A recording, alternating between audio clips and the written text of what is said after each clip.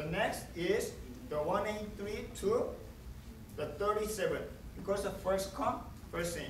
So you can add the this and this and this and this. Finally, this is a total amount of distance, moving distance, which is equal to the seek time. So we will consider such a uh, moving distance as a seek time. Then, what is the total? It's a 640. So it's a 640, the moving distance. Is one cylinder equal to is one track? So actually cylinder, each CD-ROM has their the track, okay? If they are the same track number, we consider as the cylinder. So cylinder means a group of track which are the same number of track, okay? Same position of the track. So this is called the cylinder, and each one has the track. So this is the cylinder number. What track number it doesn't matter. Okay. So next, obviously this is not the optimal solution. We don't have to moving forward and backward because we have already the request in the queue, this amount of queue. So the current position is 53. Why don't we visit the nearest one first? Which one is the nearest one? 65, right? Yeah. So we can visit the 61, that is the here from 53, so 65 next. From the 65, which one is the nearest one? 67. It's a 67. Then from the 67, which one is the nearest one? That is the 37. 98. Ninety-eight. 98. Then 98, Um, Oh, so you're looking at the distance. yeah, distance. 97 uh, 67 is a 30. And from the 67, 37. That's uh, four. 30, this is a 30, this is a 31. Okay, so we are going to visit the closest one, shortest distance, the request first. Okay, then from the 37, which one is the nearest one? That is the 14. Okay, then from the 14, which one is the nearest one? 98. 98, then 122, 124, then finally 183. Then you can sum up this, this, this, this, this, this, this, this, then it will be 283. This is the shortest seek time first. Okay? It's a SSTF shortest seek time. Why don't we compare with the first come first serve is total 640. Okay? It doesn't consider any the optimal or whatever, just consider arrival time in the queue. So in the queue. So time from the current location. This is from the current location of the head. What is the nearest one? So it's reasonably locally optimal. It's not overall optimal, right? So because it's a locally from the current position, it's a locally optimal. Total is a 236. Okay. Any other better way? Faster away. Can we ascend it or descend it and then we? Which means current position is here. Why don't we? Even though there is the request over here, why don't you move in either this way or this way? Start either way. Okay. If currently this arm is moving this way from lower to so moving forward, lower to higher, then is it all the request along the path. Then going back.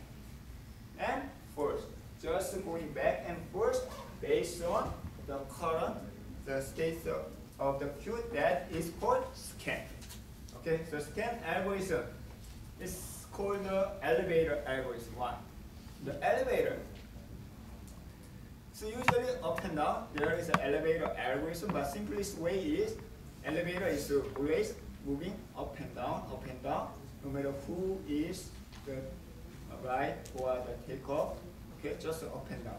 This is called the scan algorithm. Is this cone is moving current direction. Okay, current direction. Then the visit all the requests along the path and moving forward, backward. Then visit all the requests because sometimes in the middle of the processing there might be new requests in the queue. So you are saying if it is going forward, it will uh, visit all the incremented. Yes. uh, So tags and coming moving back. forward, if there's any the request, visit. The read the data return, it doesn't matter. So no matter when was requested, we can just return. Uh, Okay. going back. Then going back. That is the scan algorithm. Okay. So this slide show.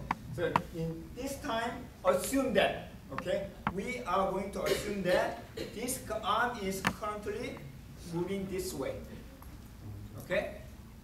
There might be possible the disk arm is moving forward, lower to from here to here. But in this case, we assume disk arm is moving the higher to lower cylinder number. Okay. Then current position is the 53. From the 53, the next one is the among the lower than 53, this one, this one. Okay, so we can visit the 14. Okay.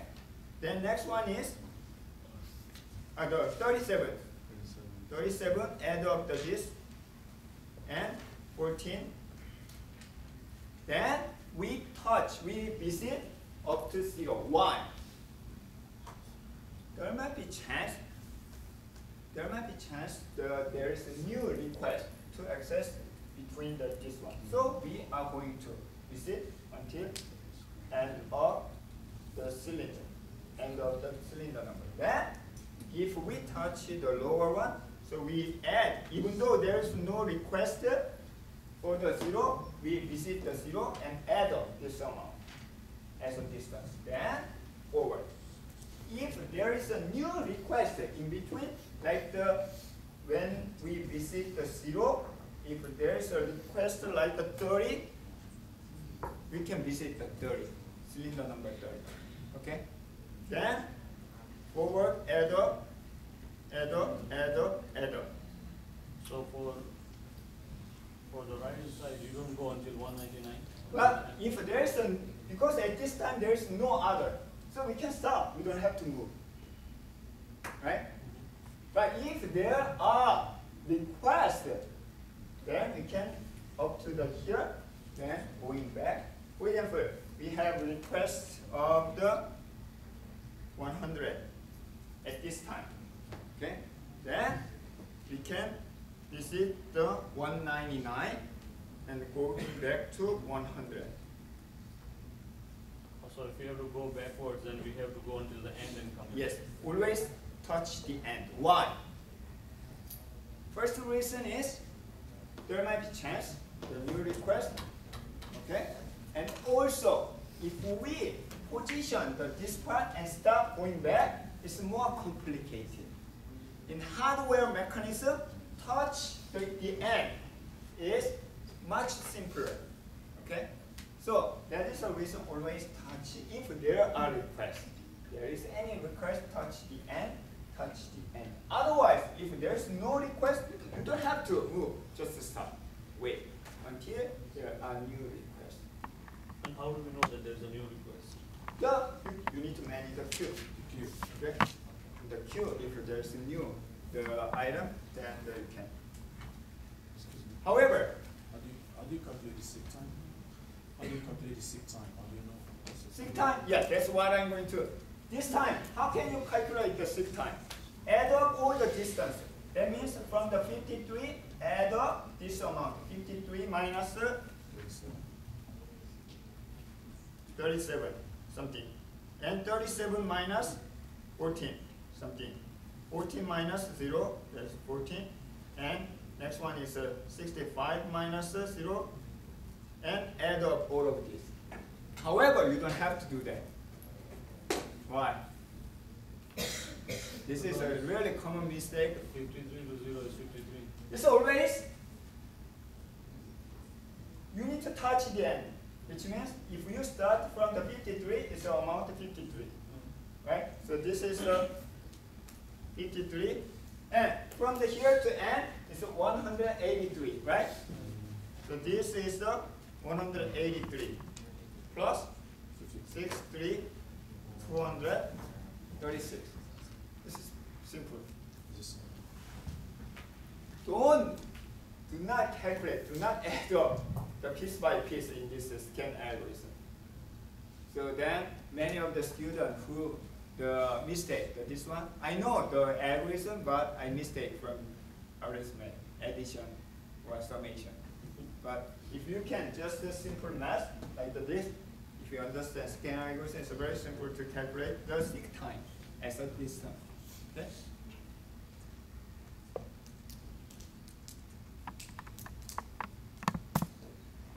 Another variation of the scan is the C-scan because here we need to check the whether there exists when we move to the forward we need to check the whether there exists a request in the queue. Okay, you need to check. And moving backward you need to check. So that is more complicated. So why don't we just check one way? Okay? So which means when we read the data, for example, the forward, uh, when we when the head is moving forward, we can read the data. Then backward, we do not read the data. Just moving forward, we read the data by ascending order. So ascending. Why? In this case, it's a small, right? It's a very small the queue size, but in real the implementation, how many IO? will be in the so many IO. So you need to find the nearest one, you need to find the next one. It takes some time to find it. So to minimize the calculation, so we'd like to find only ascending order. Okay? That is called the C scan. So C scan means the one way. So suppose that the disk arm is moving the forward the lower to higher. In our example, I will specify or I will give the hint. The where is the direction of the moving arm. Okay? Either lower or higher. Or if I give the head start at 53 and previous position is 50. Okay? That means it's moving forward. So it was a 50, so then current, the, the current position is a 53, which means moving this way, something like that. So in this case, the moving forward, so we read the data moving forward, which means this one, and touch the uh, end of cylinder. Then going back, we do not read any data, but we need to consider this amount of the distance for the seek time. Okay, even though we do not read the data, we need to consider. Then start from the zero and read the data until in this case 50, 37. what is the seek time? What is the seek time? Why don't you calculate? Definitely this is a final exam question. 20 points worth. but based on my experience, not many students actually the correct the answer. Most of the case is a mistake of the addition or summation. But in this case, you don't have to subtract all that piece by piece, right? What is the total seek time distance? Three? Anyone? Anyone else? Okay, calculate? You don't have to add up the piece by piece. We start from the 53, right? 53 to where? 199. And 199 minus 53. So 1, 63. 6. A 1, 40, 6. Then this is a 199. It's not 200. Okay? 0 to 1 is 1. 0 to 199 is 199. That's another common mistake. I cannot, it cannot be excused. Many students consider this one is a 200 because I said 200 cylinder in the question 0 to 199. Okay? So it's a 199 plus how much? 37. You can just add up three number. Yeah? You will get the seek time. Okay? I'm not very good at So I'm going to allow to use calculator. Okay? You can bring a calculator, not your cell phone, in the final result. Okay? If you want, you can bring your calculator. Any question? So, we have one more, but first come first serve. You need to add up piece by piece. But if you are smart, you can add up the, this one, this one, this one, to minimize any calculation. So that is the first come first serve, shortest. The nearly, uh, not nearly so. First come first serve. Okay. Then the shortest seek time first is the nearest one from current position. Some of the students find the from the initial point. Then which one is the nearest one, but it's a current from the current position. Which one is the nearest one? Also, if you can draw the such a trajectory, it's much easier to calculate the total distance? This is the shortest uh, seek time first. Next one is a scan. Scan means scan the whole entire. Okay, both sides, which means if the gun is moving backward from higher cylinder to the lower cylinder number, it moved this way, touch the end, and going back to the higher cylinder. Along the path, you can read the data. However, if there's no more the entry in the queue, you don't have to read, you can stop. Otherwise, keep moving. Then what if you have the, another incoming data going back and forth, back and forth, if there are streaming of the entry, incoming entry. That is a scan. Okay. Also, this time, do not waste of your time to calculate the piece by piece. Okay, usually it doesn't work.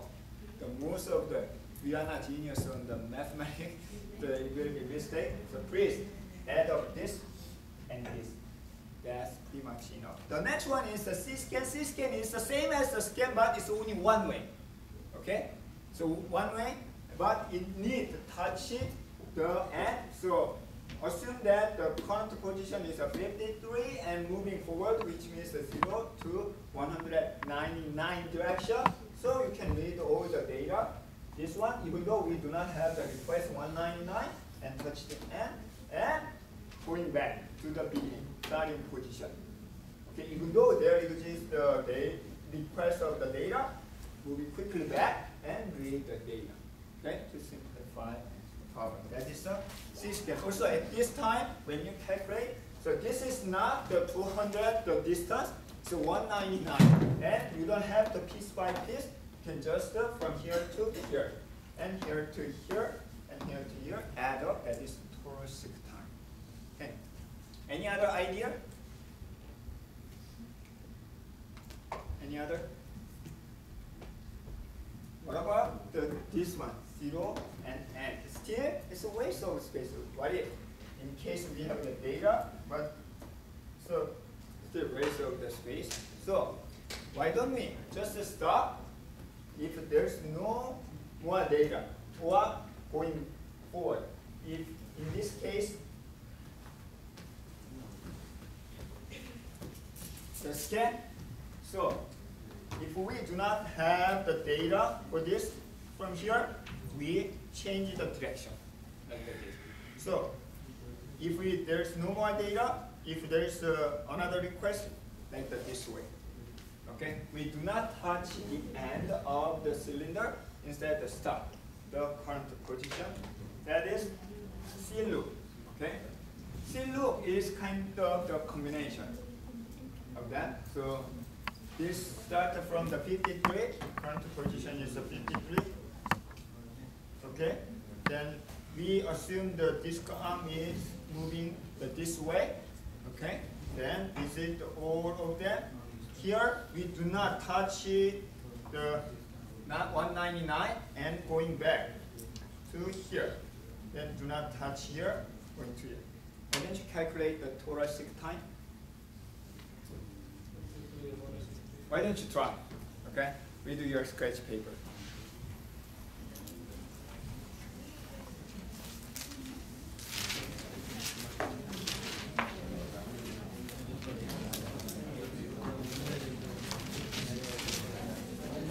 And read your ID and name and answer, then you can leave. So today the lecture is done.